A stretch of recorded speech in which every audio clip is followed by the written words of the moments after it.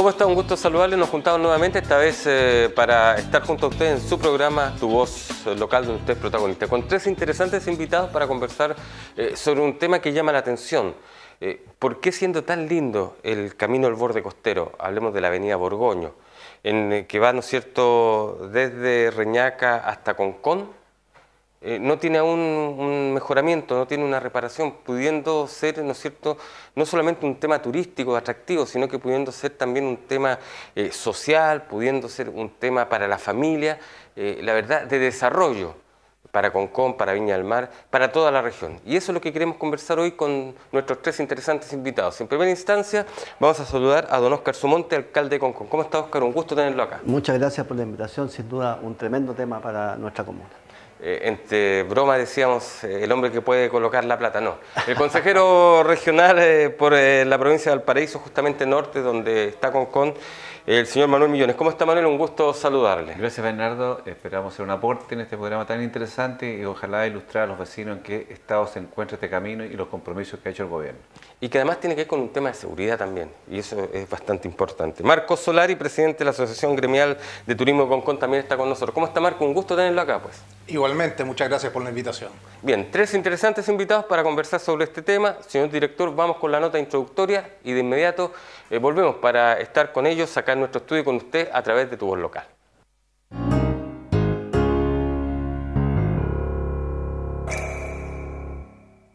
El proyecto de mejoramiento del borde costero de Avenida Borgoño, que une Concón y Viña del Mar, se encuentra a la espera de la recomendación técnica por parte del Ministerio de Desarrollo Social para ser aprobado y así recibir el financiamiento necesario para la ejecución de este trabajo. Cuando nosotros buscamos y revisamos los proyectos de nuestra región, que tal vez hay uno una gran cantidad. Este es uno que hoy día se puede financiar. Por eso hemos hecho las gestiones también eh, con el gobierno regional, con la intendente, con nuestro presidente del Consejo Regional, que me ha recibido, ¿no es cierto?, y está entregando el apoyo para que definitivamente este proyecto eh, llegue a su fin. Eh, aspiramos a que definitivamente el ministro que ya conoce este proyecto y que tuvimos la oportunidad de visitarlo hace un tiempo atrás, y él estaba esperando, me dijo, alcalde, eh, tiene que tener RS. Nosotros necesitamos proyectos que estén en condiciones de ser financiados ahora. Bueno, este es uno y esperamos tener el RS lo antes posible. El trabajo de ingeniería de este proyecto se encuentra finalizado y actualizado, en el que se solicita con urgencia su financiamiento para el mejoramiento de esta avenida, que podría ser en distintas etapas, para así impulsar la actividad turística en la comuna de Concón. Hoy día ya el Ministerio manifestó su intención, y más que su intención, sino que eh, su apreciación técnica que este proyecto tiene rentabilidad social.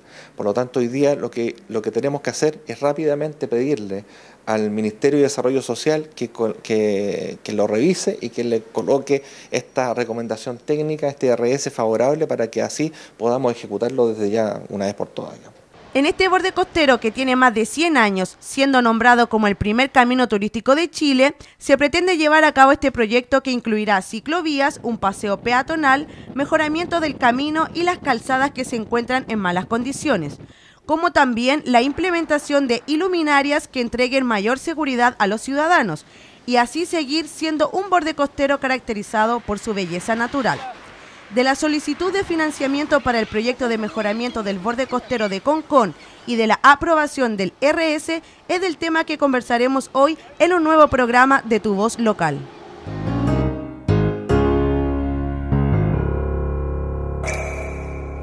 Bien, hecha la introducción, entonces vamos eh, con nuestros tres invitados. Una primera pregunta, igual para los tres, pero de su ámbito, y les pido que sean lo más precisos en las respuestas. Alcalde, ¿por qué es importante para la comuna con, este proyecto? Bueno, primero porque es un, eh, un, hito necesario en nuestro país, es el primer camino turístico de Chile y se merece estar en mejores condiciones. Eh, segundo, porque es hoy día un camino hermoso, pero con mucho riesgo y necesitamos, ¿no cierto?, resolver la seguridad. Tenemos demanda de gente que se ha caído, desde, incluso desde, desde los mismos roqueríos. Entonces, eh, sin duda es eh, un proyecto emblemático y además le cambiaría la cara al borde costero entre Concón y Viña del Mar. Manuel, ¿por qué es importante para la región? Mira, primero que es un compromiso de varios gobiernos incumplido prácticamente cuatro gobiernos, cuatro periodos de gobierno. Eh, y por lo tanto, todas estas cosas de que RS y no RS Pamplina, este proyecto estuvo recomendado técnicamente cuando estuvo la crisis económica de Vicente Frey, la crisis asiática, se despriorizó, se le quitó los fondos y era un proyecto más ambicioso aún. Así que toda esta cosa que tiene RS, no tiene RS, la gente no entiende nada. Este proyecto debe de ser cumplido porque además no solamente tiene un rol turístico, sino que también responde a darle respuesta a la habitabilidad de los proyectos habitacionales que se han construido en ese borde costero. Es decir, no solo resuelve desde un punto de vista de la mirada de quienes transitan en el verano, sino también desde el punto de vista de la conectividad que une Concón y Viña del Mar a través del borde costero. Marco, y para el sector turístico, porque es importante. Bueno, casi ya lo dijeron todo, pero es cierto, es un camino demasiado importante para que estén en las condiciones que se encuentra hoy. Más aún, eh, la población turística ha aumentado mucho. Es cosa de ver, ¿no es cierto?, la cantidad de edificios que hoy en día eh, están, eh, se han construido y la cantidad de gente que ha llegado y obviamente es gente que busca, ¿no es cierto?, estándares mucho mejores que lo que es el camino de hoy, es decir, seguridad, eh, turístico en términos de paseo, eh, ciclovía, peatonal, miradores, algunos estacionamientos adicionales. Es decir, por todos lados estamos al debe con el turista y la gente que nos visita. Perfecto. Alcalde, usted se ha reunido con el ministro de Vivienda, con el ministro de Desarrollo Social, con el subsecretario de esto, con el ministro de esta otra cartera, pero ¿qué le dicen? ¿Por qué todavía eh, no es viable? ¿Por qué todavía no se puede concretar? Siendo que, si no lo recuerdo, eh, hace un par de años o el año pasado se juntaron con la alcaldesa Viña del Mar, ¿no hicieron un llamado, hubo el compromiso de mucha gente, se suponía que meses después partía el proyecto y aún estamos esperando. Bueno, efectivamente es así. todos estos trámites que hemos dado durante todo este tiempo ha sido largo la espera y la verdad es que nosotros estábamos muy esperanzados porque ya dijimos está bueno de seguir gastando plata en actualizar cada vez que van pasando los años, hay que volver a invertir. Hoy día es el momento. Y en ese aspecto eh, estábamos muy eh, esperanzados en que este proyecto, después de haber ingresado definitivamente al Servio con una revisión, digamos, técnica, eh, pudiera haber tenido la posibilidad de ir a buscar los recursos, ir a Santiago, el compromiso que nos han planteado delante de nuestros parlamentarios de todas, en forma transversal, sin duda buscando los recursos. Pero nos encontramos con la sorpresa, Bernardo, que dijeron que no tenía rentabilidad social. Y dijo, pero, pero ¿cómo no va a tener rentabilidad social? Bueno, esa es la técnica, es lo que tal vez la gente no lo entiende, pero a uno le colocan ese tema y hay que buscar la solución. Pero tenemos una buena noticia, porque ya hoy día eh, nos han informado que sí hoy día tiene rentabilidad social. Ah, el RS que sea. Eh, eso significa que ingresa a MIDESO, al Ministerio de Desarrollo Social, donde esperamos, ¿no es cierto?, eh, sacar el RS y cumplir este compromiso del gobierno y de toda nuestra región. ¿Qué significa el RS? Hablemos esos términos, Manuel. Lo que pasa es que RS significa que esté recomendado técnicamente. Sí. Pero primera vez que yo veo que un proyecto primero te vas a saber si tiene RS o tiene RS, lo primero si están los fondos, la voluntad política del gobierno. Y por tanto eso se refleja en la ley de presupuesto. ¿Y usted cree que están los fondos? Ese es el punto. Yo no quiero más excusas. Y me, me molesta un poco que peloteen a las autoridades que vayan de esquina en esquina. ¿El compromiso está o no está del ministro de Vivienda de sacar ese camino? Está. Pero por lo tanto, y por lo tanto lo que debe reflejarse es en la ley de presupuesto los recursos para sacar esta obra. No corresponde que los alcaldes anden en la esquina a esquina. Aquí lo que corresponde es que el gobierno diga, mire, están los recursos y los técnicos deberán sacar la rentabilidad y que lo tiene, si lo ha tenido antes, porque no hoy día la población ha crecido, tiene más flujo. Entonces, la verdad es que eh, yo espero que ese argumento quede resuelto a partir de que ya está recomendado. Y hoy día lo que tiene que hacer el Ministerio es hacer la licitación correspondiente porque está los fondos, es un proyecto en etapa, por cierto, por lo menos lo que se puede ejecutar en 2019, pero no puede seguir esperando. La tasa de accidente, un camino que no se ha, no se ha conservado, no ha habido conservación, y usted ve los hoyos, entonces, y ahí responsables civiles y penales de los alcaldes, de los gobiernos regionales y de los serbios. ¿Qué más estamos esperando?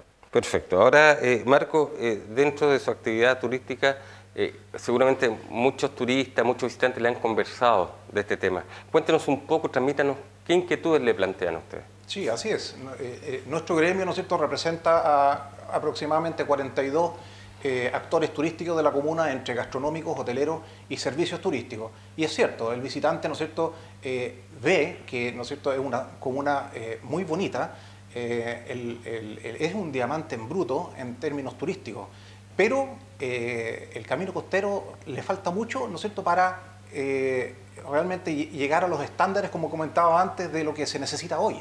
Hoy los turistas alegan, y más aún, el empresario turístico eh, no, solamente está esperando, ya está un poco exigiendo, ya ha escuchado promesas por mucho tiempo, de, que esto viene, viene y no llega nunca. Así que yo creo que eh, llegó el momento, ¿no es cierto?, de ponerse un poco más firme y exigir, a nombre de los actores eh, que, forman parte del comercio de la comuna, de que realmente se, se concrete. Perfecto. Alcalde, en más de una oportunidad lo conversamos, eh, usted se molestó bastante cuando el presidente Sebastián Piñera vino al paraíso en el sector del Muelle Barón, anunció el plan ¿no cierto? de desarrollo regional y no estaba este proyecto. ¿Sigue molesto? ¿Se le ha ido pasando un poco eh, la molestia? Eh, la verdad es que no, mientras no vea la realidad de que tengan los recursos para financiar esto. Mire, Bernardo, yo decía, bienvenidas las obras que se hagan en nuestra región. al contrario, las aplaudimos pero hay cosas que se están pensando para 5, para 10, para 20 años más. Bienvenido, ojalá, ¿no es cierto? Se está pensando la región hacia el futuro. Pero hoy día tenemos un proyecto que está ahí. ¿En qué consiste el proyecto, alcalde? Rápidamente. El proyecto eh, tiene un tramo desde Reñaca hasta La Rotonda, que a propósito que hoy día se está mejorando, eh, que genera ciclovías, paseo peatonal, mejoramiento, digamos, de los miradores, algunos estacionamientos, mejor iluminación, y, tiene un orden de 20 mil millones de pesos. Pero lo que hemos hecho nosotros es decirle al proyectista, eh, pensémoslo en etapas. Y nosotros estamos planteando que la primera etapa debería ser desde la avenida, desde la rotonda Concón, que se está mejorando, hasta la calle Pedro Valdivia, que eso sale aproximadamente como dos mil y tantos millones de pesos. No es nada para la inversión que están haciendo en Santiago. No es nada comparado con toda la inversión que está, haciendo eh, el país, ¿no es cierto?, en la capital que piensen en las regiones y aquí hay proyectos que están ahora, no hacia futuro, ahora. Mira, sí, eh, el alcalde, mira, nosotros eh, tenemos, estamos financiamos el puente de los Castaños, 9 mil millones de pesos. Llega la Avenida España, 8 mil millones de pesos. Estamos hablando de fondos regionales, no estamos hablando de fondos sectoriales. Y por tanto, esa plata es nada para lo que maneja el Ministerio de Vivienda en Santiago. Y por eso es que tú te revelas, ojo, aquí no solamente él tiene que ver con rentabilidad, o sea, hay una facultad extraordinaria del presidente de la República que se llama PP, que es prioridad presidencial, que puede saltar ciertos requisitos. Si solo fuera por flujo o por, habitante, muchos proyectos no se podrían ejecutar en regiones. Entonces, eso para mí es una mala excusa. Hoy día lo que importa es la voluntad política, es decir, no es el freno el que tenga o no tenga el RS y que diga, mire, no tenga rentabilidad social. Los proyectos en regiones siempre hacen más difícil. En Santiago todo se sustenta porque hay más habitantes, más millones de personas y por tanto cualquier proyecto es rentable. Y por lo tanto lo que uno pide es que los proyectos en regiones se miren de una manera distinta. Y hay una facultad especial, privativa del presidente, que se puede otorgar. Favorablemente no se usó porque ya el proyecto está recomendado técnicamente lo que esperamos ahora que el Ministerio de Vivienda ponga los recursos para que partamos. No es nada, 2 mil millones de pesos no es nada para el Ministerio de Vivienda, una cantidad, por supuesto, que tiene más de 100 mil millones. Y por lo tanto, yo espero que este año partamos con esta importante obra. Ahora, eh, Marco, desilusionado, usted de la autoridad es desilusionado de lo que está pasando. Desilusionado más que nada de la situación de promesa permanente, no sé a quién atribuirlo, pero en general hemos recibido, ¿no es cierto?, siempre promesas de, de que esto viene, viene, viene. Gracias a Dios, ¿no es cierto?, está en ejecución la rotonda. Es un gran paso, ¿no es cierto?, porque ya eh, eh, yo diría que era el, punto más álgido, el punto más complicado de Concón. Por lo menos eh, estamos muy bien encaminados ahí, esperamos, ¿no es cierto?, para el próximo verano no tener... pero ahora viene la otra parte, y más aún, como decían ellos, partir, ¿no es cierto?, desde Concón hacia Viña, porque esa es la parte más importante, ¿no es cierto?, Ahora, eh, tengo entendido que ustedes como eh, asociación están realizando una serie o van a realizar una serie de campañas a través de redes sociales y de otras circunstancias como para poder justamente fomentar esto. Estamos en eso. Eh, estamos buscando justamente todos los frentes posibles para ¿no cierto? activar las soluciones y que lleguen los recursos para lo que por tanto tiempo se nos ha prometido y por tanto tiempo están esperando nuestros asociados o los actores turísticos de la comuna, ¿cierto? Ah. Eh, ahí estamos hablando de, obviamente, Facebook, eh, eh, buscar, ¿no es cierto?, redes de, medios, todo lo que sea necesario y a lo que se pueda recurrir, ¿cierto? Ahora, alcalde, sin duda el trabajo en equipo es importantísimo en esto. ¿Lo ha sentido en la región? Yo tengo que decir que aquí ha sido un apoyo transversal, desde la Intendencia, los consejeros regionales, bueno, el mismo Manuel, hoy día el presidente del CORE, eh, ha sido, eh, realmente hemos sentido el apoyo, no hay que negarlo. Los diputados, me, ha tocado eh, ser acompañado por todas las líneas políticas y eso hay que destacarlo. Pero nos falta este impulso ahora teniendo este proyecto y creo que hay que levantar la voz de nuevo. Es decir, eh, aquí está este proyecto, eh, eh, las regiones necesitan inversión y tenemos que ponernos con nuestra región, especialmente en la comuna de Lo que nosotros podemos avanzar es que si todo va bien y comienza este proyecto por etapa, debiéramos hacernos cargo de la conservación del lugar que no sea pavimentado, porque no es posible que esperemos cuatro o seis años más y con los hoyos. Y ahí la demanda es que los municipios o el serbio se presente el proyecto porque le corresponde al gobierno regional la conservación y podemos hacer un bacheo de esos lugares que están altamente riesgosos. Ah, perfecto, que otro tema muy importante. Y esa es competencia nuestra del gobierno regional, así que lo que uno espera es que el Ministerio de Vivienda anuncie las obras para el primer etapa y pudiéramos hacer conservación en el resto mientras se puede ejecutar el proyecto. No podemos esperar más tiempo de que estas que nos puede pedir otra temporada, si eso sería impresentable. O, un, como el socavón que tenemos nosotros, ¿no como, cierto? como ha pasado en otras partes, un socavón que puede causar un accidente, como bien decías tú, Manuel.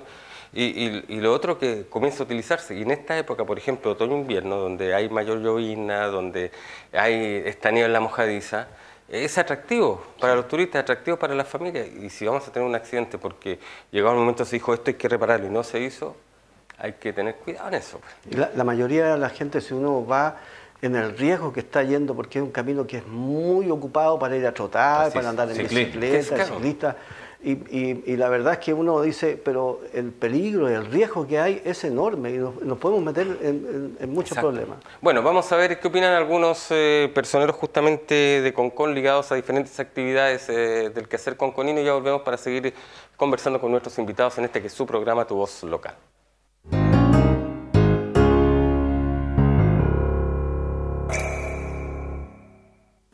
Conconinos y autoridades están a la espera de la recomendación técnica para que se lleve a cabo el mejoramiento del camino del borde costero que enlaza las comunas de Viña del Mar y Concón. A continuación pasaremos a escuchar lo que opinan las personas que trabajan en el rubro turístico. Hay una firme molestia y una, una desazón con respecto a las autoridades gubernamentales con respecto a este proyecto del borde costero.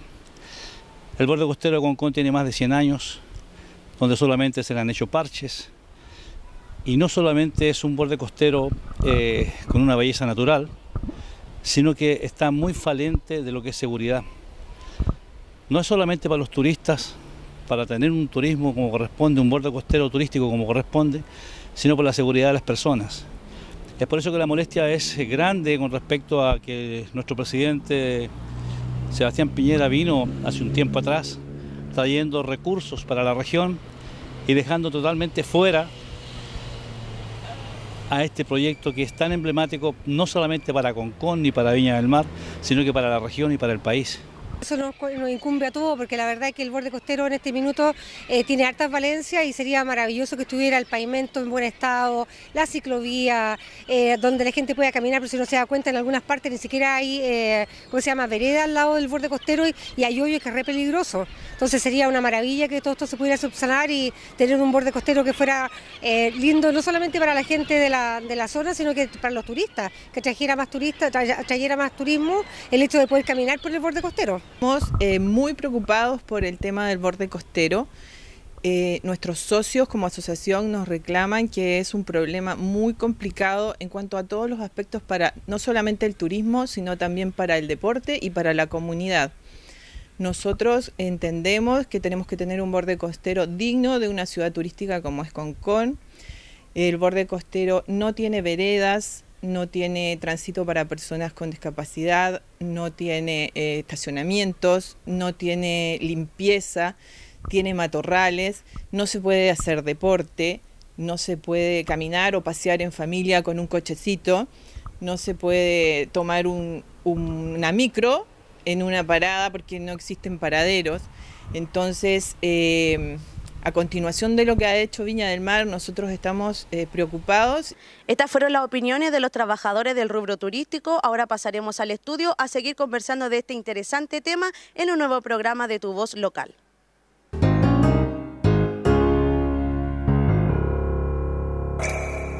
Opiniones eh, comunes, no es verdad la que acabamos eh, de ver y de escuchar.